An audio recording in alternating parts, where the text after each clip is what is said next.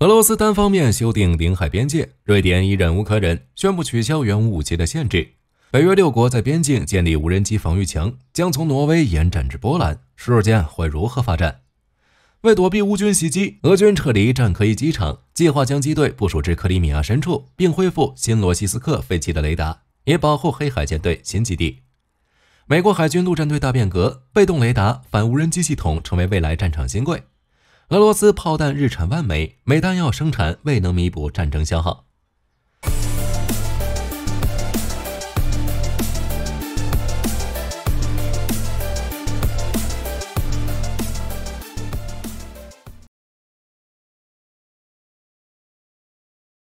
从地理位置上看，瑞典、芬兰加入北约后，除了加里宁格勒之外，波罗的海周边地区都已被纳入北约版图。波罗的海几乎成为了北约湖。为了解除北约对波罗的海舰队的压制，俄罗斯之前单方面宣布修订其在波罗的海的领海边界。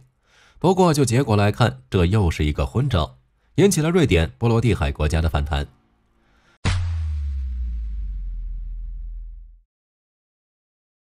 五月二十六日，瑞典《哈兰德邮报》报道，瑞典国防部发表声明称，乌克兰正在遭受俄罗斯无端发动的非法侵略战争。根据国际法，乌克兰有权通过以敌方领土为目标的军事行动来自卫。只要这类军事行动符合战争法，瑞典支持国际法，支持乌克兰行使自卫权。以上这些翻译成大白话，就是乌克兰可以使用瑞典援助的武器攻击俄罗斯本土。之前，英国、拉脱维亚也已经解除武器的限制，乌克兰可以自己决定是否使用这些武器打击俄罗斯。美国这边虽然没有做出最后决定，但美国国会议员、众议院议长约翰逊。国务卿布林肯都支持这么做。北约秘书长斯托尔滕贝格呼吁盟友现在应该取消原武器打击俄罗斯目标的限制。波兰外长西科尔斯基同样支持取消武器使用限制。俄罗斯没有克制自己，那么就不必为乌克兰设置红线。不过，意大利、德国却反对这样做。舒尔茨认为没有理由扩大北约武器的使用范围。德国的援乌政策是防止其演变成一场大战。之前拒绝援乌金牛座，也是担心局势升级，而俄罗斯正是看到了这一点，才肆无忌惮地在哈尔科夫边境部署大军。当前的哈尔科夫、苏美边境地区，俄军不断集结军队，而乌克兰不能使用北约武器攻击俄本土，将未来可能发生的袭击扼杀在萌芽之中。等俄军越境后，才能实施打击，导致乌克兰损失增加。对于乌克兰而言，绑着一只手反抗是不公平的。北约也正是意识到这一点。才接受解除原武武器的使用限制。至于舒尔茨的反对，大概也持续不了太久。目前，德国联邦议院多个政党呼吁取消武器使用限制，并在乌克兰西部设立禁飞区。舒尔茨的压力也很大。另一边，由于俄罗斯单方面修订领海边界，北约六国打算在其边境修建无人机防御墙，将从挪威延展至波兰。波罗的海国家甚至表示，一旦俄罗斯在乌克兰东部取得战略突破，就会向乌克兰派出地面部队。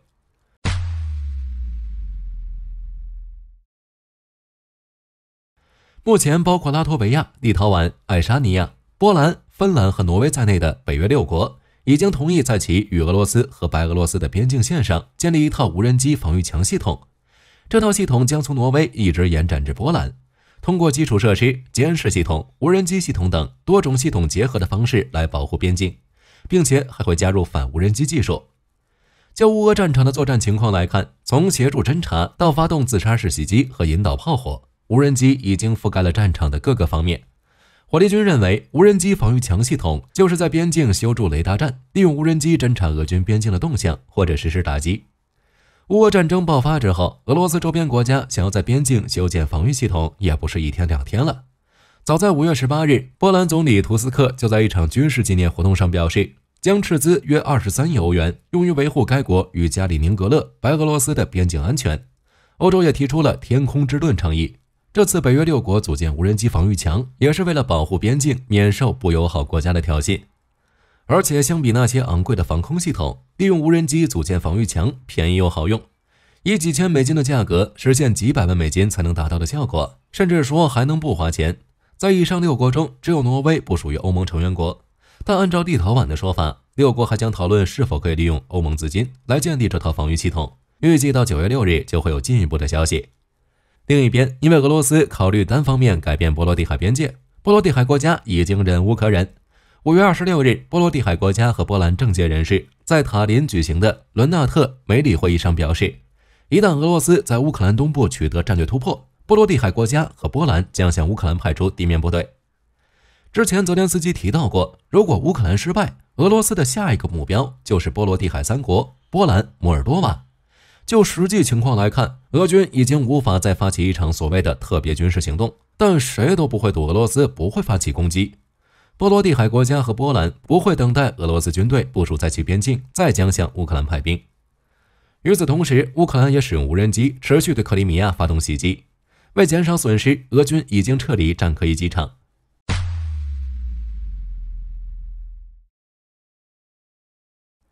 在乌军的反攻行动中，克里米亚已成为最先选择的目标。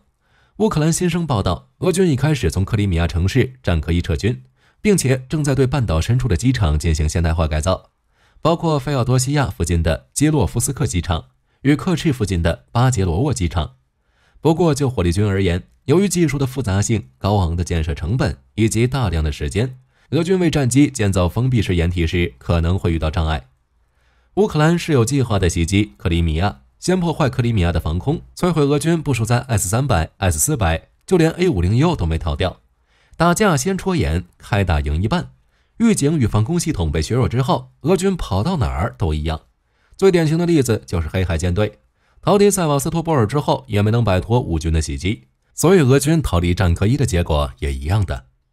说到黑海舰队，俄罗斯为了保护为数不多的舰船，目前正在恢复新罗西斯克附近废弃的通信中心。该设备建立于苏联时代，很长一段时间都没有用于军事目的，但该设施目前已经处于戒备状态。同样的，火力军不认为一款苏联时代的通信中心能帮助黑海舰队抵御乌军的饱和式打击。只是不可否认的，当前的乌俄战场，乌军的炮火强度不如俄军，前线的局势并不是那么好。有消息人士称，俄罗斯炮弹的日产量达到上万枚，而美媒报道，每弹药生产未能弥补战争消耗。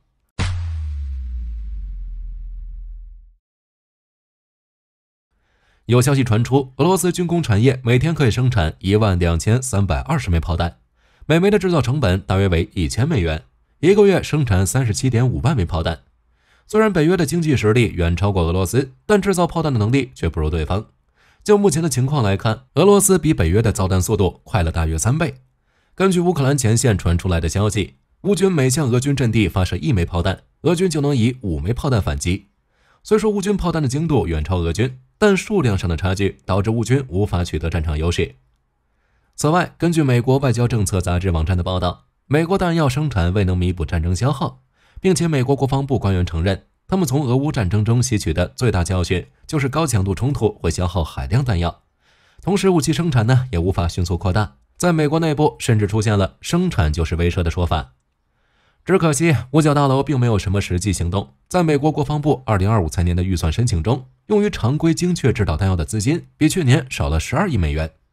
报道称，美军弹药生产水平与现代战争强度不匹配，已经成为了一个大问题。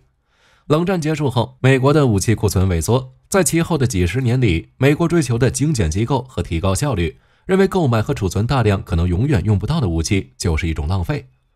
美军当前的情况就是在冲突期间消耗武器，库存降低后，军方才会进行采购。一旦这种迫切需求不存在，就会迅速降低武器采购的优先级。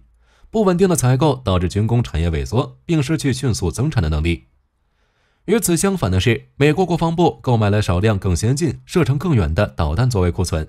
比如爱国者 PAC 三型、标准六、战斧等导弹。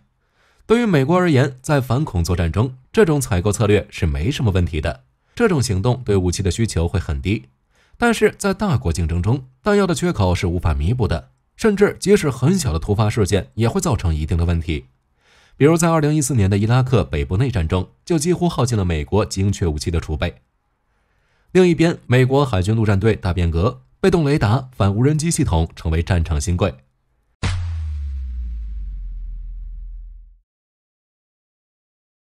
现代战场，无人机与精确打击武器已经很常见了。为了避免信息遭窥探和技术落后于对手，美国海军陆战队着手大规模现代化，加速部署新装备系统。据美国国防新闻周刊报道，海军陆战队为了提高装备采购效率，实现量产新装备。将地面防空、机动雷达和轻装甲车辆等不同领域合并为三个新产品。首先，新雷达，海军陆战队计划在未来两年内开发一款被动式雷达系统。目前，海军陆战队的主力雷达 GATOR 属于主动式，虽然性能不错，但是在战场之上，主动发射电磁波存在暴露位置的风险。而新型被动雷达不需要发射讯号，只是监听电磁环境，可以大幅提升隐蔽性。另一个重点就是反无人机能力。海军陆战队计划在十二到十八个月内部署两种全新反无人机系统，也就是中程拦截能力与海军防空一体化系统。其中，MIC 集成了 GATOR 通用航空指挥控制系统 CACRS 以及以色列成熟的铁穹系统。在二零二二年就已经进行了实弹测试，并成功摧毁了几个同时发射的巡航导弹目标。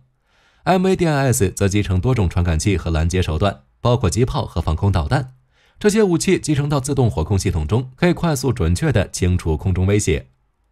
海军陆战队之所以加强防空能力，主要原因就是实力太弱了。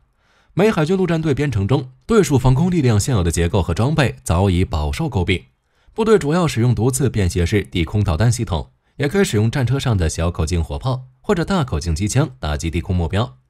看起来还行。问题是在二零一九年，海军陆战队总共只有四个毒刺和复仇者系统连，扩充已经是必然的。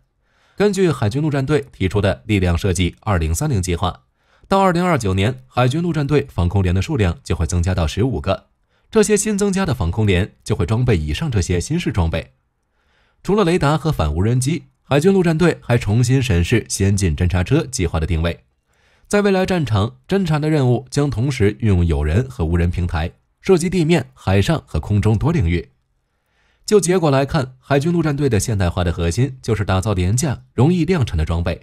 作为姥姥不疼、舅舅不爱的军种，海军陆战队之前追求高精尖武器，但经常出现成本飙升、交付延误等问题，而且未来战场环境复杂多变，单一武器也无法应对。美国计划解除对沙特的军售限制，以改善美沙关系。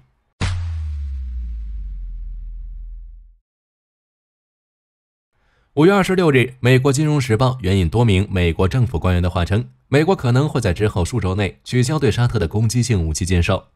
二零二一年，美国以也门内战为由叫停对沙特的攻击性武器军售，在被禁令搁置的交易中，有一笔价值四点七八亿美元的精确制导弹药军售项目。二零二二年，经由联合国调停，也门冲突双方同意停火。美国政府随后开始评估军售相关决定，但一直没有具体时间。但以哈冲突爆发之后，美国需要在关键议题上寻求沙特方面的合作，包括能源和对美国中东政策的支持。这次解除军售限制就是改善关系的第一步。除此之外，美国政府高级别官员之前还宣称，美国与沙特接近达成一系列双边协议，包括防务条约和民用核项目合作。英国空军一架喷火战机坠毁，飞行员身亡。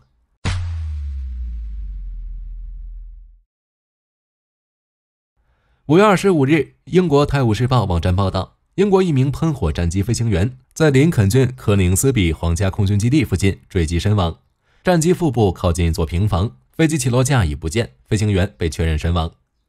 在一九四零年的不列颠空战中，喷火战机击败德国，成为英国自由的象征。所以在二战结束近八十年的今天，仍有约七十架喷火战机能够飞行，其中六架属于不列颠战役纪念飞行队，总部在科宁斯比。这些曾在战时使用的飞机定于六月六日参加飞行表演，以纪念诺曼底登陆八十周年。第十艘意大利海军 F-21MM 艾米利奥·比安奇号下水。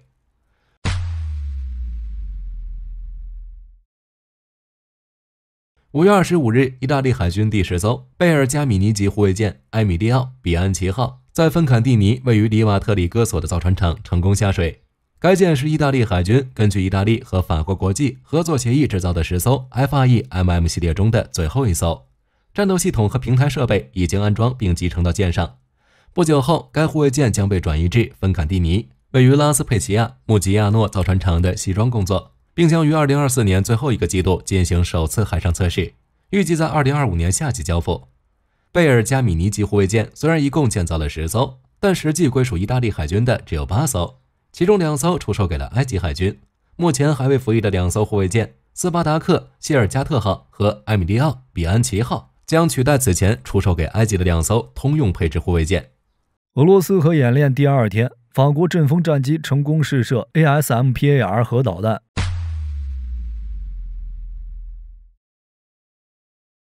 五月二十二日，法国国防部长塞巴斯·勒克尔尼表示，阵风战机成功试射了可携带核弹头的 ASMPAR 导弹。按照勒克尔尼的说法，这次试射的主要目的就是强化空中核威慑的可信度。翻译一下，就是让俄罗斯看一看自己的大宝贝好不好用。毕竟俄罗斯搞核演练，欧洲也不能落下。目前，法国大约有二百九十枚核弹头，主要发射平台就是潜艇与战机。其中，潜射以四艘凯旋级潜艇为中心，可发射 M 五一弹道导弹；而空射就是阵风战机的任务，可发射 ASMP 系列。其中，ASMP 是由法国 MBDA 研制，一九八六年五月投入使用，取代老旧的 AN 二二和 AN 五二。弹头是爆炸威力达一百到三百千吨的 TN 八零型氢弹，不过后来更换为爆炸威力一百五五十。千吨或三百千吨的 TN 八一型，射程三百公里。升级版 SMPA 在二零零九年十月与幻影三 NK 三一起服役，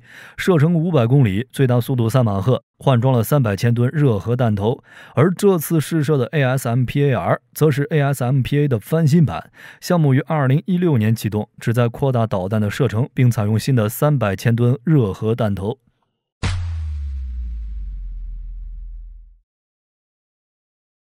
据相关报道，法国国防大厂海军集团在今年四月宣布出售印尼两艘进化版平鱼级的潜艇，并且授权技术转移，协助印尼当地造船厂生产，帮助印尼水下战力提升。印尼海军参谋近期在雅加达举办的未来潜艇技术研讨会上，透露了印尼未来十五年仍有持续对外采购潜艇的计划，并尝试购买无人潜艇，用来应对印尼的海防需求。